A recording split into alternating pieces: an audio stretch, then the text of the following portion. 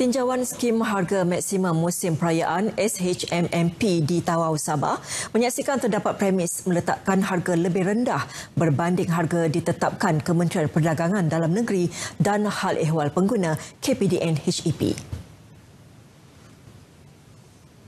Ia menunjukkan kesan positif bagi memastikan pengguna dapat membeli barangan keperluan dengan lebih murah selain terjamin mencukupi sepanjang musim perayaan Pesta Keamatan dan Hari Raya Aidilfitri awal bulan hadapan mengikuti apa semua yang ketetapan yang setelah ditetapkan oleh uh, KPDN KK. Jadi kita nampak pun kurang ya, kurang uh, aduan-aduan daripada uh, masyarakat.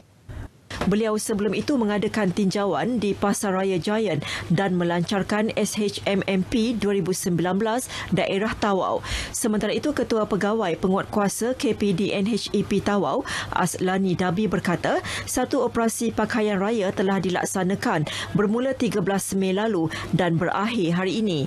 Sepanjang operasi tersebut, pihaknya telah memeriksa 23 premis dan mengeluarkan 6 notis kepada peniaga atas kesalahan harga harga yang tidak munasabah.